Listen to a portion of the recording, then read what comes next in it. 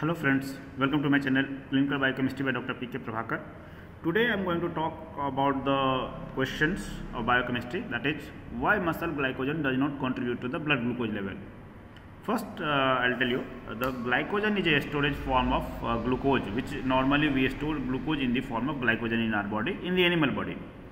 So these glycogens are going to be stored in two different organs synthesized by two important organs. Other organs are also going to synthesize but mainly by two organs that is liver and muscle. Maximum synthesis done in the liver and some portion is going to be synthesized in muscle also. So whenever we are having a hypoglycemic condition or body does not have sufficient amount of glucose that time these glycogen is going to be broken down and provides the glucose to the blood circulation so that glucose level will come to the normal value, normal concentration.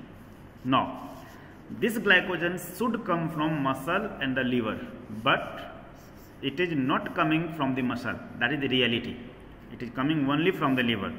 So, why? What is the exact reason? So, first we will see the what is glycogen and then we will talk about the synthesis and degradation process and then ultimately see the what is the exact reason. So, if you see the glycogen which is a storage form of uh, glucose in animal body, similar thing plant doing in the form of starch and both are homopolysaccharide of glucose molecule. This glycogen going to be stored mainly in our liver that is roughly 6 to 8 percent by weight and 1 to 2 percent in muscles because in our body we are having more muscle mass. So, that is why even it is 1 to 2 percent but by weight it is more than 250 grams and in the liver even it is 1 to 6 to 8 percent but because we are having limited only one liver and a limited mass so it is only 75 gram. Glycogen uh, stored in the cytoplasm their synthesis and degradation both occurs in the cytoplasm it means all the enzyme which is required for the synthesis and the degradation of glycogen is present in the cytoplasmic fraction of the cell. This is a homopolysaccharide which is composed of alpha D glucose and it is a branched molecule. It means it is having two types of branching two types of bonds alpha 1 4 bonds when glycogen will be in the straight chain and at the branching point it is having alpha 1 6 glycosidic bond. This is the uh, reaction which shows the gly glycogen synthesis starting from the glucose and ultimately goes to the glycogen. So there are many different enzymes we require, many different steps are there. So first it starts with the glucose, glucose converted to glucose 6-phosphate by a normal glucokinase or hexokinase then this glucokinase is converted to uh, isomerized to glucose 1 phosphate by phosphoglucomutase. Uh, this glucose 1 phosphate reacts with UTP and glucose molecule will be transferred to the UTP and gives us UDP glucose. This is the ultimate substrate for the glycogen synthesis. Then this UDP glucose transfer this glucose molecule to the glycogenin which is a protein uh, multiple times and lastly, the most important enzyme of the glycogen synthesis that is glycogen synthase comes which is a bifunctional enzyme means two enzymes will be there. One is glycogen synthase and second one is branching enzyme and ultimately we are going to get glycogen molecules. This is the synthesis process.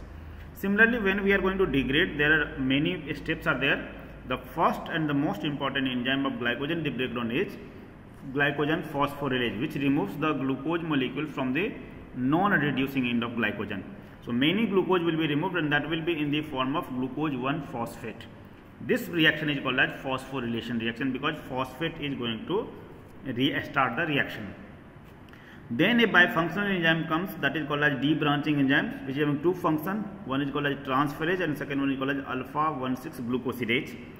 These two enzymes normally breaks the glucose molecules from the branches and ultimately we will have a straight chain then again glucose, uh, glycogen phosphorylase comes and which removes all the glycogen ultimately we will have a normal glucose 1 phosphate.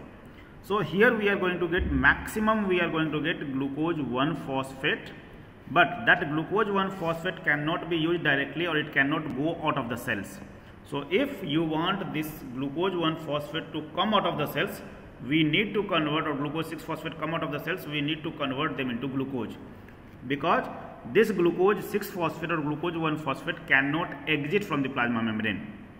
Now for this conversion this glucose 6 phosphate have multiple uses either directly it can go for glycolysis it can go for hexophosphate shunt it can directly uh, go for glycolysis also. And otherwise it will be transferred to the glucose converted to the glucose by glucose 6 phosphatase. Their phosphate will be removed and then this glucose will be going out of the cells into the blood circulation. This is the normal process of degradation. So if you see the what are the different enzymes we require. So enzymes of glycogen synthesis are glucokinase, uh, phosphoglucomutase, UDP glucose phos uh, phosphorylase, glycogen synthase and branching enzyme. These two are the bifunctional enzymes or part of the same enzyme. Then when we are talking about the enzymes of glycogen breakdown, so glycogen phosphorylase, debranching uh, transferase enzymes, alpha 1,6 glucosidase enzyme, phosphoglucomutase and glucose 1,6 phosphatase.